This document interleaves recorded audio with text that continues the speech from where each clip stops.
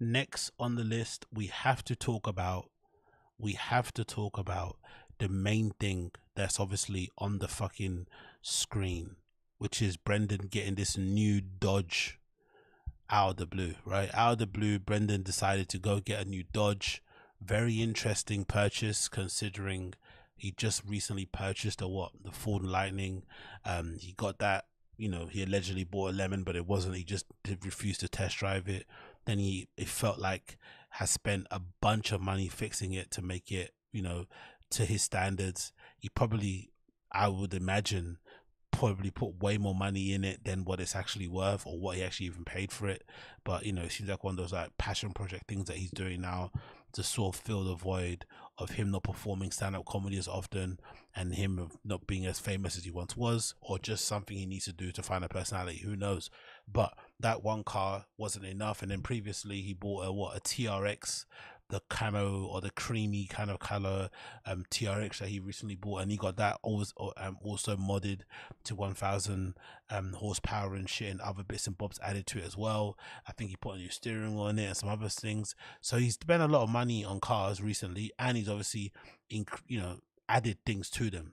So you'd imagine that'd be it, but no. Out of the blue, he decided to go to this shop called Towbin Auto Group to go and buy a Dodge 170 a Dodge Demon 170, I guess, right? Um, which is, I guess, in the same category as like Hellcats and shit. And those cars, if you know anything, again, I'm not very versed in cars, but even I know those cars are incredibly, incredibly in demand. Um, um, and everybody's kind of wanting them, and they've been sold nowadays for like way above um the recommended kind of retail price because everybody wants to get their hands on them. And obviously, because recently, um, they fucking, what did they do? They, um, then they recently announced they're not going to make any more. So that's probably the reason why the values have obviously increased.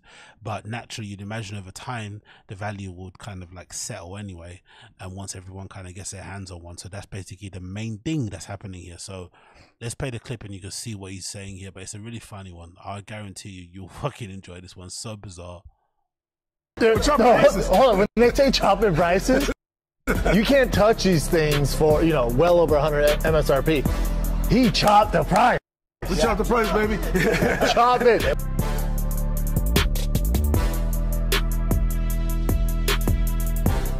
So, so I guess this guy is some sort of like celebrity car guy thing. I guess I'm assuming it's a strange thing. I don't know who he is. I guess he's some sort of like celebrity car dude. I don't really know much about him.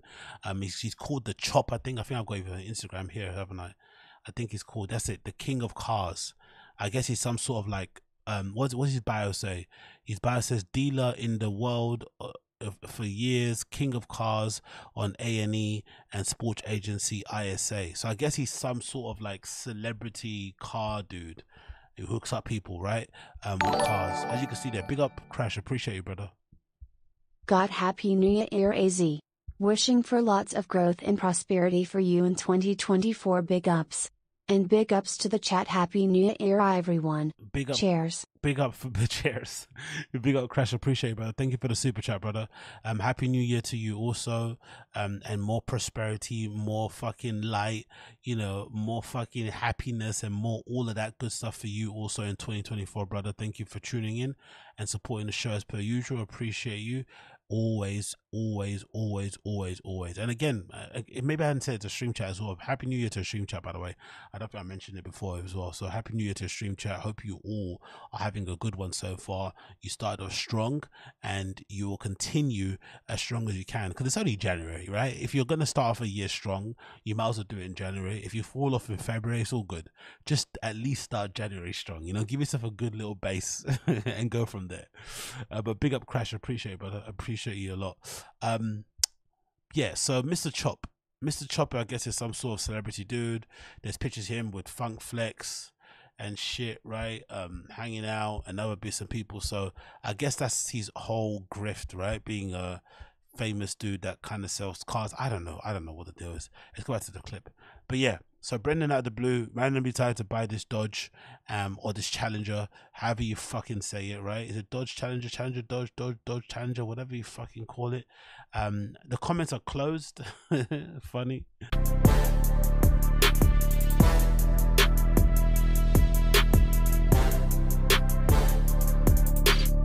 So we're blessed right now, right here at Towbin Dodge, number one in the world, to have Brendan Schaub in our show. Oh, and that's not a rap, in it. That's not wrapped, right? That's like a that's like the, how it came from the manufacturers in this neon green colorway. Because that's obviously the inside. That's not a wrap at all. Wow, Jesus Christ! It's a bit loud and it? it's a bit crazy, but I don't. I, it looks a bit like a Hot Wheels car, but I don't mind the color. I'm not gonna lie. But you know, I, I'd imagine resale isn't going to be the greatest on that color. So we're blessed right now, right here at Towbin Dodge, number one in the world, to have Brendan Schaub in our showroom, man. Thank you very much thank for coming you, through, brother. baby. Yeah, so, thank you for coming through, man. 100%. Not too many people come through on uh, Demon 170s. 100%. A lot of people said they could do it. You guys are the only ones that actually pulled it off. We got you. My friend Yoel, who we do a lot of business with, and he's famous for he sold the car to Drake, the Christ, Ferrari. Yes, that is a, you know, that that guy, he, he reminds me of the guy from the bagel shop. Remember? Yes. The white, the white Maybach. You are not my father, my boss, or God. Uh, imagine that of that guy from the bagel shop. That's a tiny dude. So I got Khaled yeah. when he's out hanging out on the roof. It's perfect. When I heard that you wanted the 170, I was like, man, I really wanted to go to somebody that really enjoyed it. Because sometimes it'll go to a collector that's cool, but it might be quiet. but they use it. them as art pieces. Right, like right, I drive my car. Yes, sir. Like and you know this, I drive my car, so this thing will be driven. Yeah. So you you gonna make it do a wheelie or what? Oh yeah, that's oh yeah, that's why I bought it. Yeah, what are we doing here? So it's dope, man. Congratulations. I'm really happy that you came through and that you're getting this car and uh, your laces match. You're ready. Yeah, dude, I'm ready to go, dude. One thing I'm gonna say is that never mind the chop had the car. This, he, he hooked up the best deal I've ever seen on a demon. We chop, right baby. Here. Exactly. So allegedly, people are selling these for three hundred thousand, and I think the the recommended retail price is like a hundred grand or something. That's insane, bro. Obviously, I'm assuming he financed it. I don't think he probably paid for it in cash.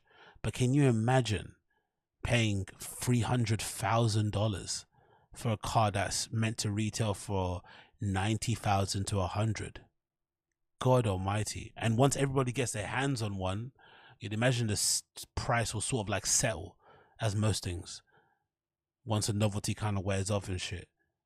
Like, and you imagine as well the financing options will probably be a lot more expensive than, you know, what the car is and shit. So you might you might actually end up paying more than that, you know, as the years kind of go down and whatnot. Who knows? Or maybe it's just a one of those, or maybe it's just one of those sick places where they give you crazy deals for the exposure on the internet.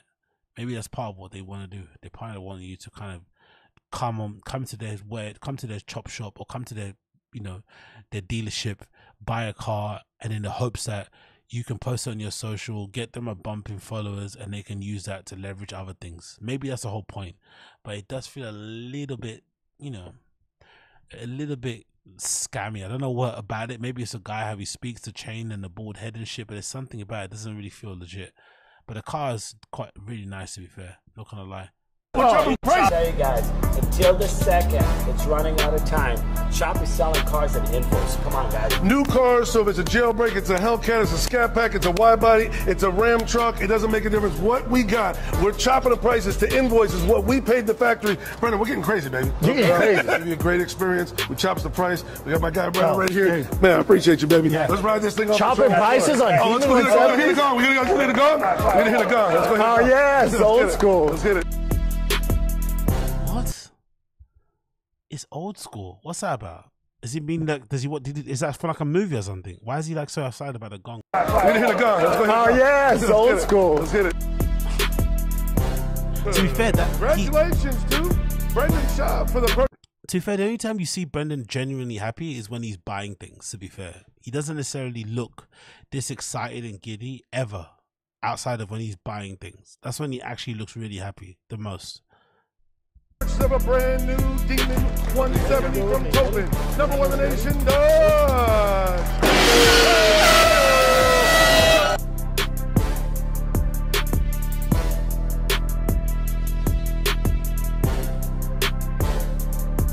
It's an interesting pivot he's making, isn't it, right? From driving the Porsches, Ferraris, and now he's like, like, I think that's why I I don't know if that is you count as an L or not. Because I part of me also thinks he could probably be a little bit more of a legit car guy if he just stuck to the pickup trucks and shit. The pickup truck kind of like grift probably could have worked, especially after buying the Lightning. So you buy a TRX, then you go and buy a Ford Lightning, a 20 year old car, you fix it up, and then you maybe buy something, you know, five year old, whatever, and you build up your collection that way. That maybe would have been a good way to sort of like get the to the crux of his, you know, gearhead knowledge and stuff and start from the bottom and kind of build from there. But going from, you know, the TRX to the other, you know, car that was being flipping spun around and stuff to this, it just seems a bit weird, isn't it? it just seems a bit weird. Just seems a bit weird.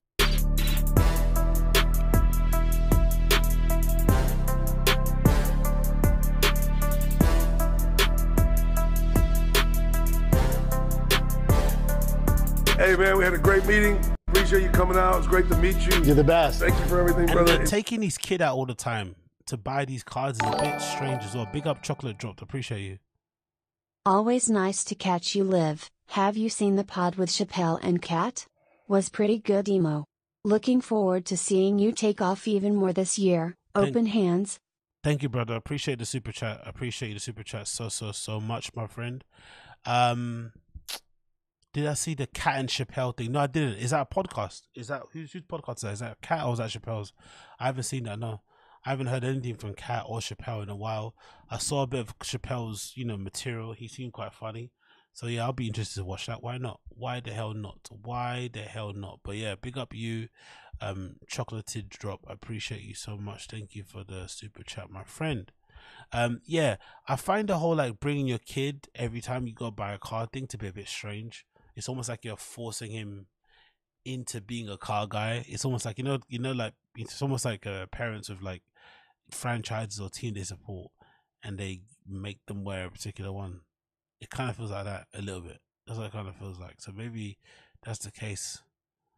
that's going on with him. I'm not too sure, but I find that a bit strange. You know, just leave the kid at home, let him play with his toys and shit, hang out with his friends instead of just going around and you know, I don't know, now developing a taste for fucking fast cars when he's like under the age of under the age of twelve. It's like a bit weird. Then you got his brother as well, who's you know, strange thing. Whenever he buys a car, he seems to like you know basically fly his brother in to do what?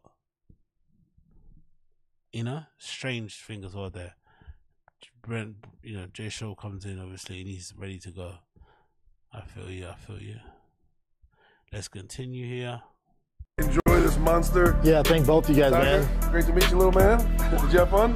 Yeah, you were playing the simulator? Thank you so much, brother. Thank, Thank you, you man. Thank you. Don't get me wrong, it's a really nice car. I don't think we can deny that, right? It's actually a re- oh, what's going on here? It's actually a really, really, really, really nice car. I'm not gonna lie, I actually do like it. Um, it's just an interesting, weird pivot to make. That's the only thing. It's just a strange pivot. It feels like a very, very strange pivot to go from what he has already to now.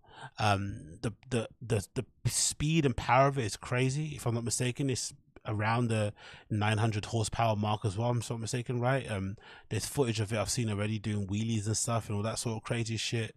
Um, you know, it can fucking move, so that might be a bit of an issue for him going around, but maybe not. Maybe he kind of enjoys the fact that the cars, you know, can do crazy shit and he just drives at 60 miles per hour. I'm not too sure, but yeah, it's a lot of car there. Um, a lot of flipping blood has been shed to get it, and now you know, both people are kind of, I don't know. I just find it odd. I just find the whole thing odd. I just find all of it odd. I'm not really sure what's going on, but I find the whole thing to be so fucking bizarre. But let's see how it plays out for him. Um, obviously, most people would assume, and you probably are right, to say, where does that interest in those cars come from? Was it out of the blue? Was it something that he actually was into? Nope, it wasn't. It wasn't. Oh yeah, no, that's what I was meant to mention. Big, big up aside. That's what I forgot to mention. Sorry, yeah, I forgot to mention that. Forget all that shit I'm just saying there. Can you imagine how you'd feel if you're fucking George? Can you imagine how you'd feel if you're fucking George and you allegedly get fired because there's no money, right? There's no money, um, or the person that's meant to pay you lost their bank card or something, right? Crazy. Can you imagine?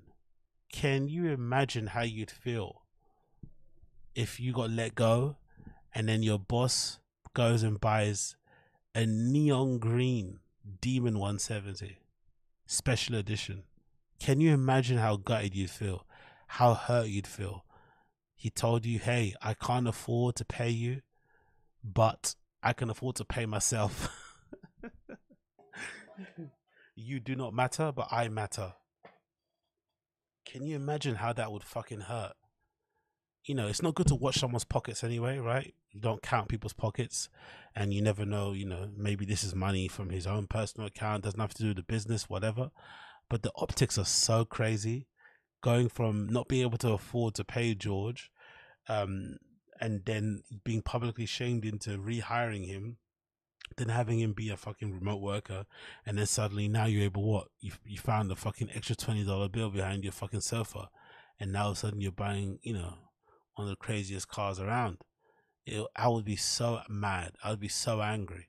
You know, it's it's kind of equivalent to like lending money to a friend.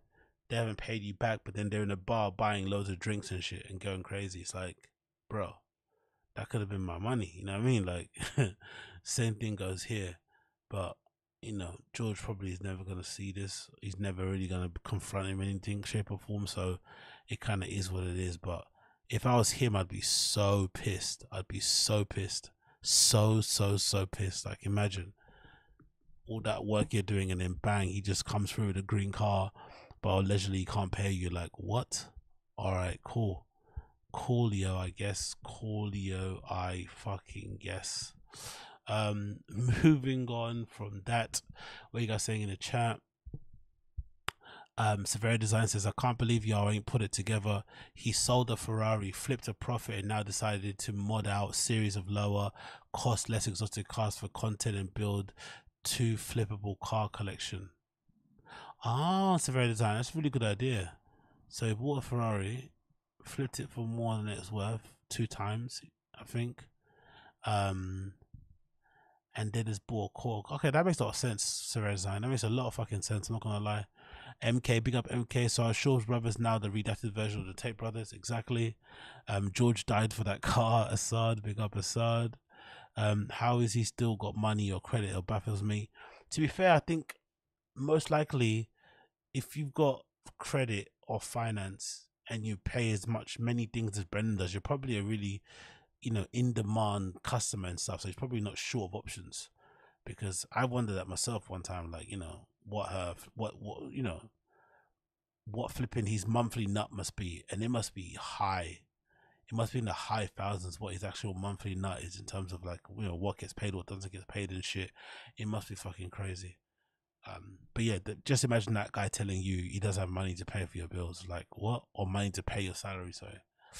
Um what are you guys saying here? If George put the weight back on, it's Papa's fault. Be but BGO and George can start a podcast called Brokies. Oh god. Absolutely incredible. Severus says, I, I think about it. Thick Boys has a daughter that's growing up, so she was going through the girl phase, talking to her skating ring, the 16. Yeah, that's true. That's all very, very, very, very, very true. Okay, moving on from that one.